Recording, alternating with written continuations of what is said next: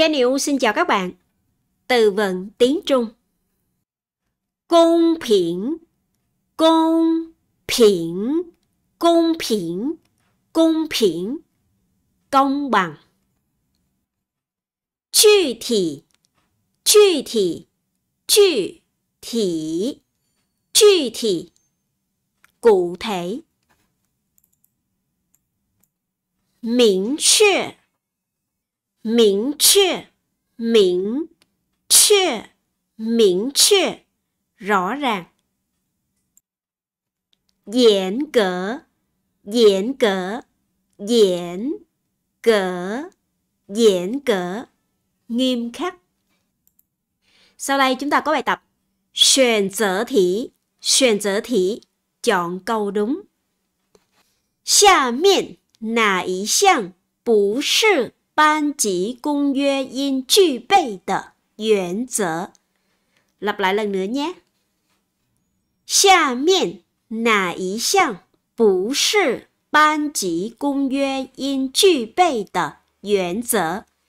Phía bên dưới mục nào sau đây không phải là quy ước nguyên tắc chung của lớp? 下面 phía bên dưới, phía bên dưới. Nà ý xiang mục nào? Tức là 1, 2, 3, 4 mục nào.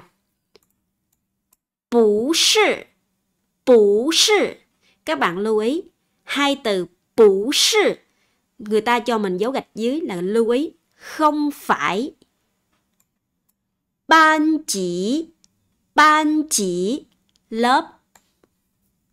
Công yue yên chư bê quy ước chung.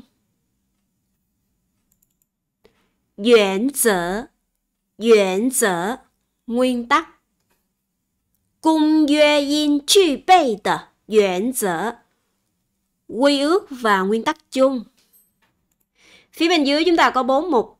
Mục thứ nhất. Diễn cỡ. Nghiêm khắc. Chu thị. Cụ thể. Miễn rõ ràng cung phiển công bằng 1, 2, 3, 4 chỉ có một thứ nhất là không phải cho nên chúng ta điền một thứ nhất vào trong khoảng trống này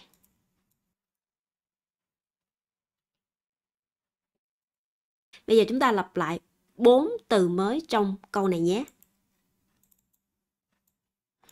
cung phiển, công phiển, công bằng.